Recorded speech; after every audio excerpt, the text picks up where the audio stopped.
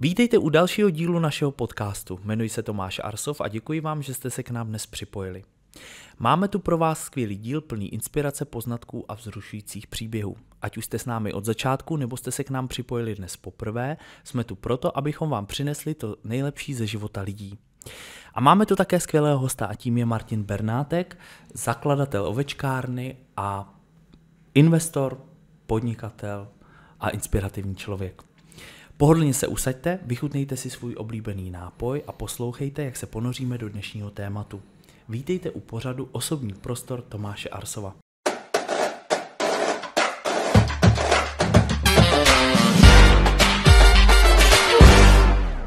Martine, dobrý den, já vás zdravím. Tomáši, zdravím vás a děkuji moc za, pozvání. Nemáte vůbec zač, pro mě je velkým potěšením, že jste to přijal, protože vím, že jste hodně vytížený.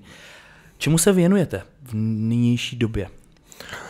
Tak vlastně teďka funguji jako konzultant a vlastně, no, myslím si, že teďka budu nově jako investorem budoucím, nebo určitě už to vlastně, už mm. je to mhm. pře, mnoho věcí pře, před podpisem, takže se budu eh, vlastně věnovat eh, i vlastně hodně těm startupům a teďka vlastně hodně eh, pomáhám v rámci toho startupového světa, že vlastně vždycky, když je třeba nějaký uh, menší firma nebo vlastně startup, tak vlastně jsou vždycky v nějakých akademiích, kde jim pomáhám těm mhm. podnikatelům, mm. že vracím to, co jsem se vlastně naučil. naučil a beru to jako takovou samozřejmost, díky tomu, kde vlastně můžu žít, tak mám také možnosti, tak mm. se snažím nějak pomoct.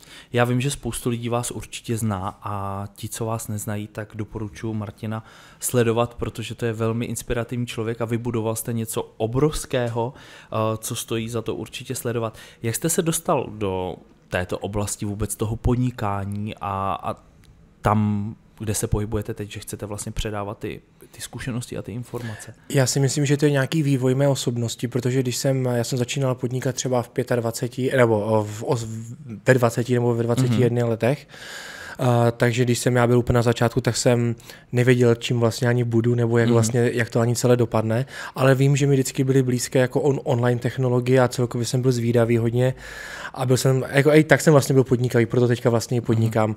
Takže ono se to vlastně ty, eh, ty kombinace nějak vlastně spojily a v rámci nějaké eh, zkušenosti, kterou jsem vlastně nabral, tak vlastně já tomu říkám, že to podnikání je jako škola. Jo? Mm. Vlastně, když vezmete, co jste viděl na začátku a co víte teď, tak je to úplně diametrálně něco jiného a to je no. na tom podnikání vlastně to nádherné. To já vždycky říkám, my jsme začínali tak nějak jako stejně, já jsem taky začínal, když mi bylo zhruba těch 20 let a říkám, ale neexistoval žádný manuál, který by mi dal záruku toho, že to bude fungovat, nebo že z vás bude úspěšný podnikatel nebo úspěšný člověk. A já říkám, takový manuál neexistuje, protože to, že se to někomu povede, tak neznamená, že uh, já když vám řeknu ty stejné věci, které jsem udělal já a dělejte, budete úspěšný kadeřník, nemusí se to vždycky povést a je to právě o tom se furt dovzdělávat a neusnout na těch vavřínech. Mm-hmm.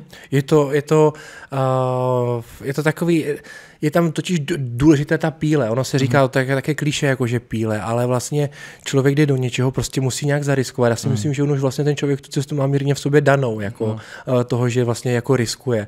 A potom vlastně, když takto něco vybuduje, tak je to samozřejmě už jenom jako bonus. Ale důležité je, že se to nedělá pro ten zisk, ale dělá to proto, že ho to vlastně baví. Mm. A to je potom ta vlastně ta, ta odměna. Ta přidaná hodnota, já to vnímám taky tak a říkám, že spoustu lidí mě teda na to přivedla moje klientka, která učí mezinárodní vyjednávání na Karlově univerzitě a říkala mi, hele, já už jsem viděla v životě tolik příběhů a, a firem a startupů a všeho možného, ale vždycky ty nejúspěšnější jsou ty, co se dělají od srdce, ty, co jsou s tím čistým záměrem.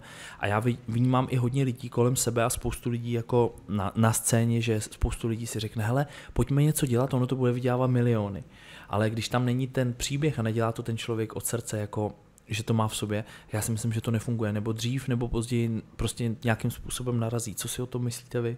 Tak jako samozřejmě to je jenom vidět u vás, že vy se nesnažíte uh, vlastně uh, ostříhat co nejvíce lidí, ale hmm. chcete dělat lidi hezčím, jo? Hmm. Jako hezký. My, my, Takže... my jsme teď přišli vlastně na to, že uh, jsme si tak vybudovali vlastně tu značku a, a, to vnímání na tom trhu, že my řešíme ten problém těch lidí, že to není jenom prostě dát si nějaký produkt, ale chceme, aby to opravdu řešilo ty problémy, mm-hmm. ať je to s vlasy, s pletí a s čímkoliv, protože si myslím, že spoustu lidí trápí účesy a, a všechno a vidím to na těch ženách, že jim to dokáže. Já se vlastně stříhám třeba na krátku, abych to vlastně nemusel řešit. Jo, jo. jo abych ano, to měl vyřešené. Abyste neměl žádný problém. Jo, jo, jo, ale... A je to pohodlné. Že? Ale tam jenom ukázka toho, že vlastně mnoho lidí samozřejmě dělá první, jako ne, že pro zisk, ale prostě podniká v tom, co vlastně umí mm.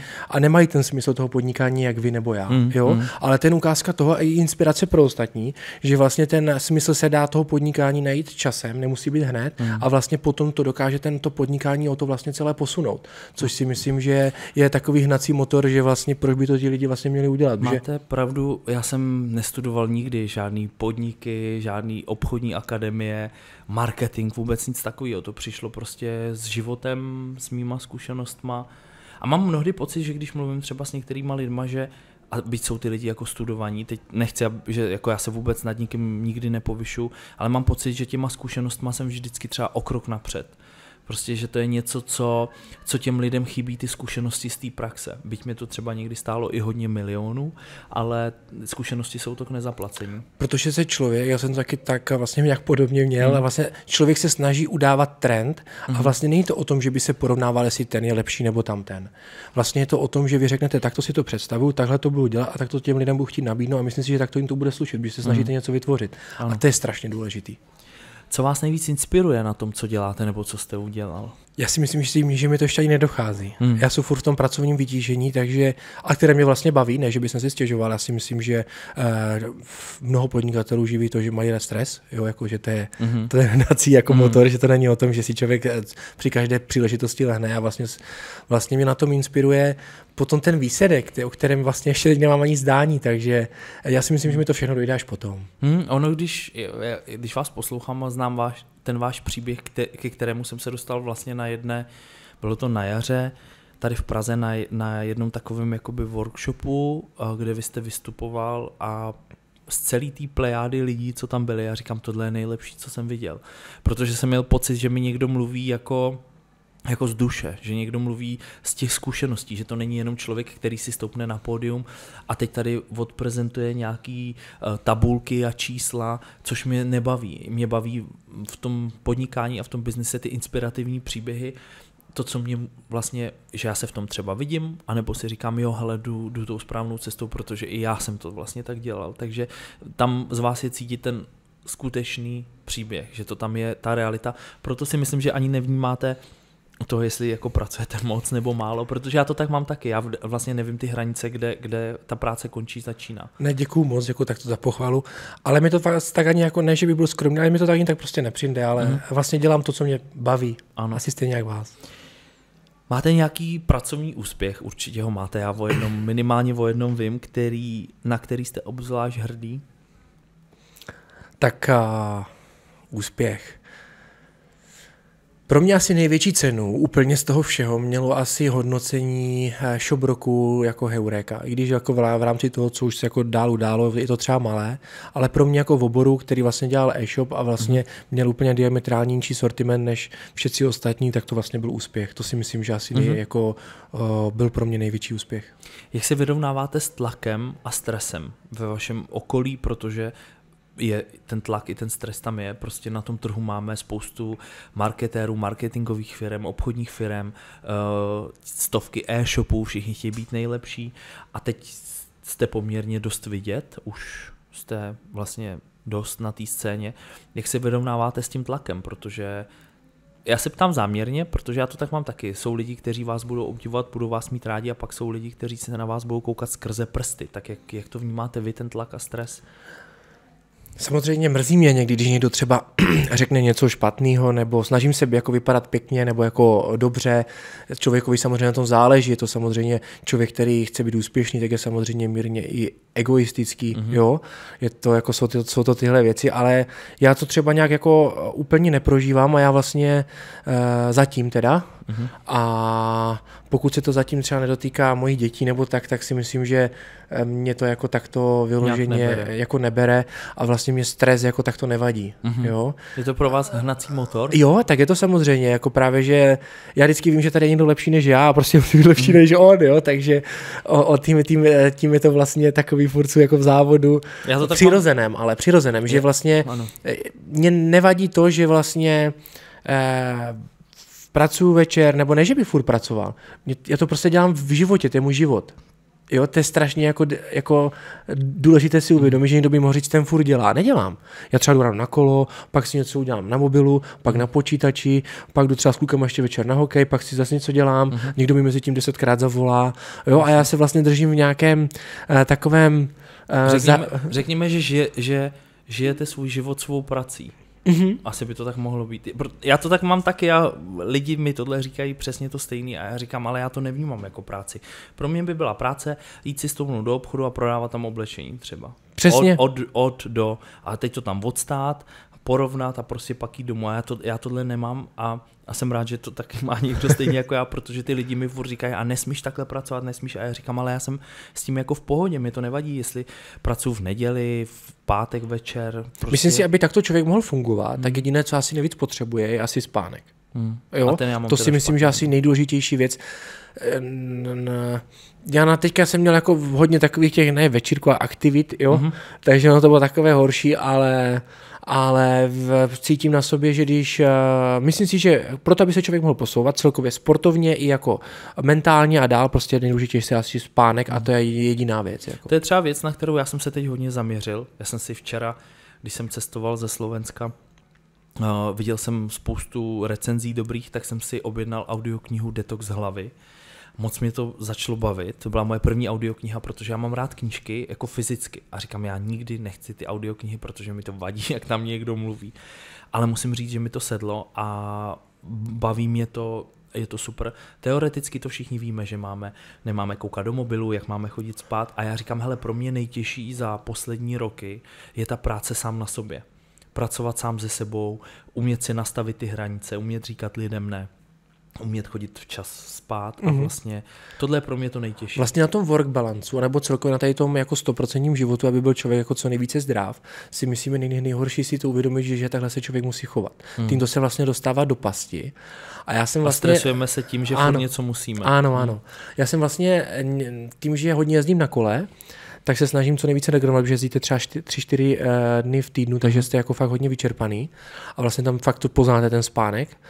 A tam jsem si eh, dosi říkal, ty já si jdu zapálit ještě jako doutník, něco jsem někde viděl a on říká, no to říkám, to je teda co špatná regenerace, jsem mu napsal. A on řekl, a tam někdo prostě právě, že ho komentoval, tam nejde o to, jestli to je špatná, ale to, že se člověk tak hezky uvolní. uvolní. Mhm. Takže vlastně, kdyby vlastně člověk nemohl usnout a dá si jedno pivo a půjde spát, tak vlastně je to tisíckrát lepší, než kdyby se snažil usnout. Hmm. Jo? To já vždycky říkám taky, dělejte, lidi by měli dělat to, co jim dělá dobře, ale jim samotným a ne podle nějakých vzorců, že se to od nich očekává. Pokud právě vám dělá dobře dát si to pivo před tím spánkem, tak si To je právě, že spojené i s tím to, že člověk se snaží furt vypadat stoprocentní a tam to, aby neřekl špatně, tam toho neurazil, to prostě takto, já to prostě takto řešit ne neřeším, nebudu. A ne, že by mi to bylo jedno, ale prostě chci být v tomto přirozený a nechci se prostě dostávat do nějakých her pastí. a pastí hmm. a prostě jestli to nebo to, prostě dělám to s dobrou vírou a tím si myslím, že je to asi nejdůležitější. To nebo tak... tak, jak to u nás funguje hmm. na Moravě. Ano. Jo? tak to je, tak to bylo a bude. Bude. Já to říkáte velmi správně. Já to tak mám taky. Já jsem nikdy nechci číst scénáře, když něco natáčím. Já říkám, hele, já to říkám furt stejně, já to nepotřebuju se to učit, protože uh, mě když se někdo zeptá teď za, na něco a za deset let, tak já odpovím furt stejně, protože to prostě je pravda. A byť se to někomu líbí nebo ne, nepotřebuju tady hrát nějaký strategie a taktiky, protože se do toho člověk pak zamotá a já nedělám rozdíly v lidech, takže abych mluvil chvíli s některýma tak a potom tak, pak se do toho zamotám a ještě vlastně do toho hodně tlaku a stresu si přidávat ještě takovéhle zbytečnosti jsou zbytečný, takže já vždycky říkám všem, mluvte přirozeně a tak, jak to cítíte a to je to nejlepší. Mm-hmm. Jo, je to. Jak se projevuje ten váš pracovní život, ten biznis do osobního života? Docela dost. Myslím si, že někdy manželku to na trošku, ne že mrzí, ale já se jim vlastně nedokážu takto uvolnit jako úplně. A dokážu, já vlastně nevím, kdy se dokážu uvolnit. To je docela jako, teďka jste mě dostal, jo? Hm, to jsem rád, uh, že se mi něco takového. Jo, jo. A myslím si, že v tomto bych možná teďka možná mohl jako i doma víc, více zabrat a spíš se věnovat dětem. Hmm ale uh, takže v tomto ještě musím spíš zapracovat. Tak doufám, že se manželka bude koukat. teď jste si na ale víte co, tady byč. jsem teď ukázal to, že vlastně jsem, minimálně jsem poslal signál, že ano. nejsou 100%, že se můžu zlepšit a to, že tam je prostor, znamená to, že to může být lepší. Ano, a že jste si takže důležitý je... Zkaz... Budou lepší zítřky, jo? Skazujeme, man, skazujeme manželce, že uh, to tady zaznělo a dáme si, na to, dáme si na to pozor. Co byste poradil lidem, kteří chtějí být úspěšnými podnikateli? Co je nejdůležitější z vašeho úhlu pohledu? Na co by si měli dát pozor? Udržet si nadšení jo, a nenechat se odradit někým, uh-huh. jo, protože ta naivita je asi nejdůležitější věc.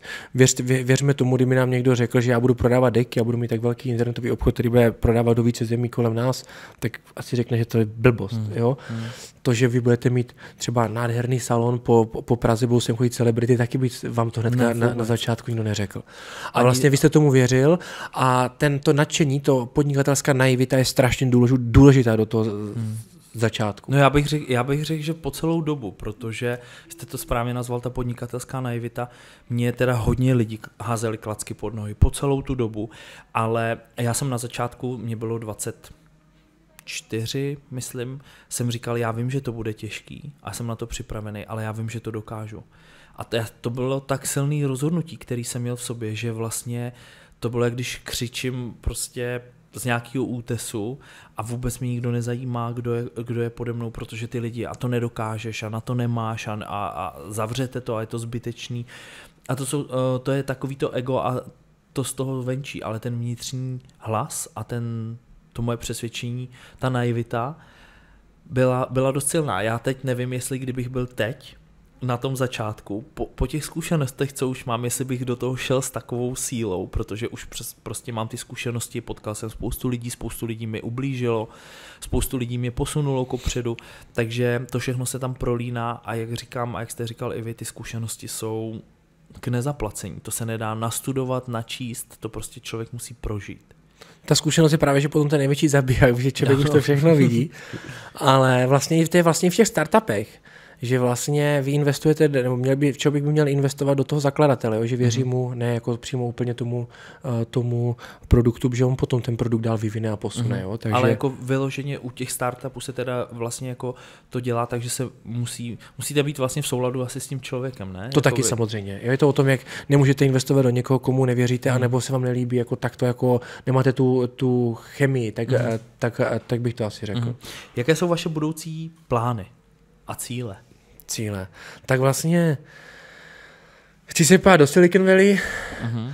a chci mít a ne úspěšné, ale chci mít startupy, které mě budou bavit, že ty potom budou úspěšné.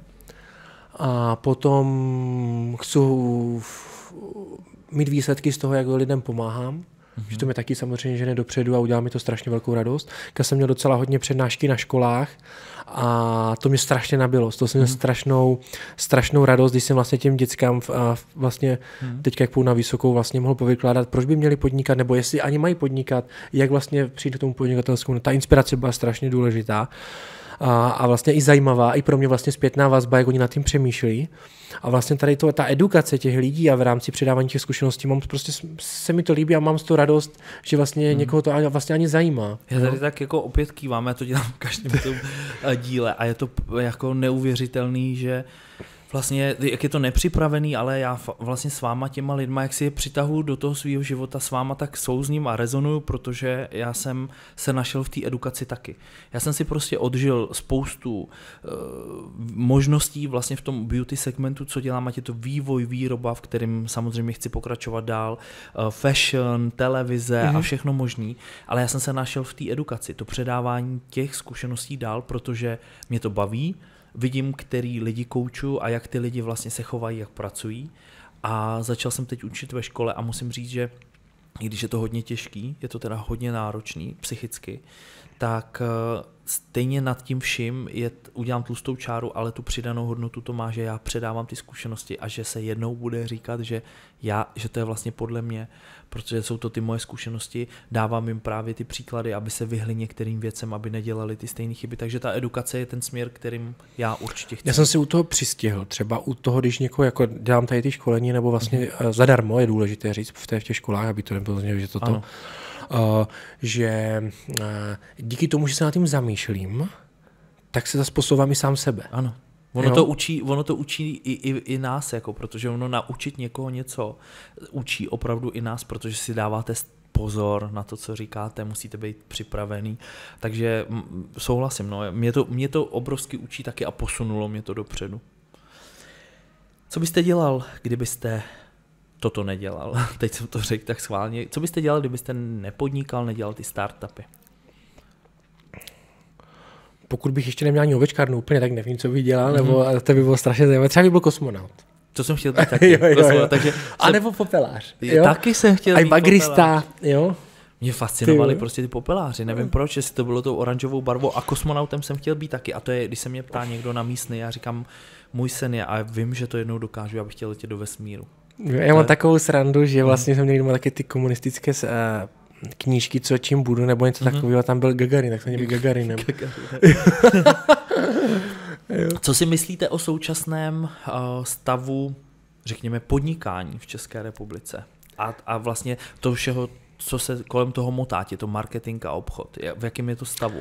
Hodně lidí teďka mluví o nějaké jako stagnaci nebo vhoršení trhu a já prostě tomu nevěřím. Hmm. Jo, ne, že nevěřím, ale prostě my podnikáme v zemi, kde vlastně máme to štěstí, že tady můžeme žít. Když si představte, že někdo podniká na Ukrajině a to je teprve problém. Ano, ano. Jo? A tady to, že je nějaká jako pokles poptávky v rámci tomu, jestli vlastně ani je, jo? jestli to není jenom o tom, že ten člověk špatně podniká. Třeba dám příklad takový mega obchod, jako třeba Alza, může pocítit nějakou, nějaký tento, ale pokud rostete od toho spodu, tak vy vlastně ubíráte furt tomu velkýmu, jo. Mm. Je to, máte jako pravdu, teď jak jste to řekl, že to může být prostě jenom, a to je to, co já říkám vždycky lidem, najděte nějaký důvody, proč něco jde udělat. Nehledejte furt ty věci a to nejde a to nemůžu, protože to, to si tady můžeme předhánět. Já bych vám mohl říct 20 důvodů, proč bych tady zrovna teď nemohl, neměl a nemohl sedět ale uh, naš, vždycky je lepší vlastně jít tou cestou té pozitivity, že možná ty lidi si říkají, jako, že to je taková ta zadní berlička, no jo, no ale prostě pokles trhu a, a všichni stagnujou, že to je, že se tím jako tak uchlácholujou ty lidi. Je to takový... Uh populistický, takový jednoduchý omluvení věcí. Mm. Já prostě v, s tímto prostě nesouzním, ani nechci souznit. Mm. Prostě věřím tomu, že vlastně jestli je nějaký prostě pokles, tak je to proto, aby jsem se mohl připravit, aby pak mohlo být ještě víc. Mm. Proto možná jste taky tam, kde jste, že jo? Protože máte možná jinak, jinak nastavený ten mindset. Um, kdo byl nejvíc inspirativní člověk, který jste potkal ve svém životě? No. No.